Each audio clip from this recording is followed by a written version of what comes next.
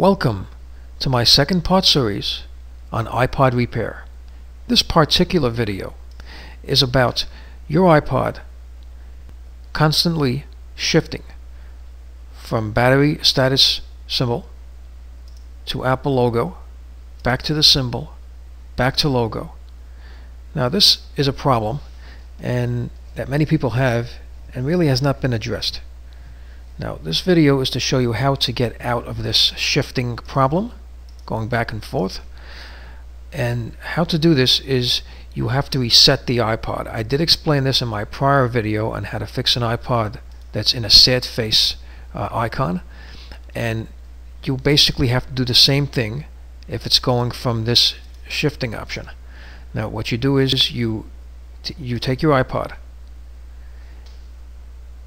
now this is about the classic uh, type of iPod which is usually the click wheel anything from the first to fourth and fifth generations. It's generally about 4.1 inches tall by 2.4 inches wide. Uh, and basically what you have to do is you have to take your finger and put it on the select button as I'm pointing to here. Simultaneously you have to hold down the menu button. After about 7 seconds it should power off. At the same time, without letting go of the select button, but letting go of the menu button, hold down the play button. Now after about 6 7 seconds, you'll notice that the iPod will go on, of course, you'll see the logo again, the Apple logo, and then it's going to go into disk mode. Now this video is not necessarily how to get into disk mode it talks about a problem in which it does not stay into disk mode. Now, as you can see here, this is disk mode. This is what's going to appear after you do the resetting, which I just showed you. You're going to see a check button, a check logo in the center. You're going to see it say OK to disconnect, and you're also going to see a battery status symbol on the upper right hand corner. This is going to be moving. It's going to be moving up and down, up and down like it's charging. Now the trick is to get it to stay in this mode. The problem is is that it doesn't stay in disk mode. It goes out of disk mode and then right away it goes back into this.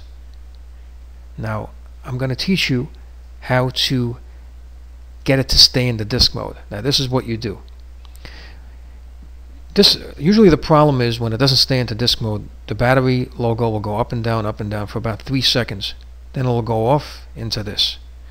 Now to get it to stay in the disk mode, while it's in here for the few seconds that it is, take it, take the iPod in your hands and just hold it from this area where I'm pointing to here with your thumb and your index finger and just with a flick of the wrist, not too hard, with your flick of the wrist, just bang the iPod on a blunt object like the edge of a windowsill or a window pane or a piece of wood, the edge of a piece of wood, and bang the top part, this area, the back of it, the other side uh, about three or four times. Now when you do this it should stay into disk mode. If it stays into disk mode after 7 or 10 seconds make sure to put the hold button on as it's in disk mode which is right over here. It should show orange. This is on the top uh, left hand part of the iPod and what you're going to see is you're still in disk mode now of course, it says disk mode over here. Just letting you know. It doesn't say it here. It just say disk mode. You should see a padlock icon over here, right where I'm pointing to. And that means that it's in hold, and it should hold it in disk mode as well. Then it's going to start charging. You have to leave this in for about maybe about six or seven hours until this is full. Now remember, as I'm talking to you now, all these functions that I told you to do, the resetting, the tapping on the, the blunt object, the iPod has to be plugged in at all times.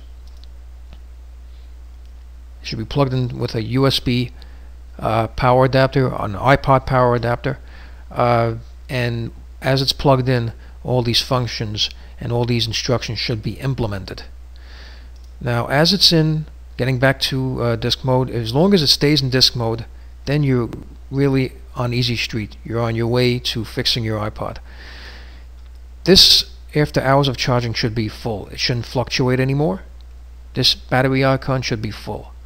Once it's full, either this, I'm sorry, either it should be full here or it should show this logo over here of charging and this should be moving up moving up and then it should say charge so it should either be in this and this logo or in still in the disk mode logo and this is going to be charged either way once once it shows charged in either of these icons what you have to do is you disconnect it you disconnect the power adapter from the iPod. It's, it's connected to here it should be pulled out and then you plug it into your computer with your USB cable USB sync cable which looks like this this interface of course goes into the iPod this goes into your computer once that's connected iTunes should automatically detect the iPod it should open up You'll see it on the left hand side. It'll say your iPod, user iPod, or whatever your name is if you personalized it. And then when it opens it up, there's two tabs, a restore button and an update button. You click on restore, let it restore to factory settings. It's going to take a while to do that. Once it's done, don't disconnect it. Wait till it's done. You should get a logo like this. When this logo appears, put it back into the wall. It should restore it to factory settings. Once that's done, it should power on and it should be like new.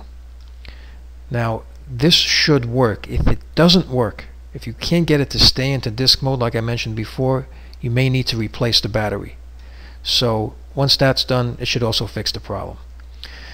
So if you have any questions, comments, concerns about this video, please feel free to email me anytime and leave comments. Thank you for tuning in.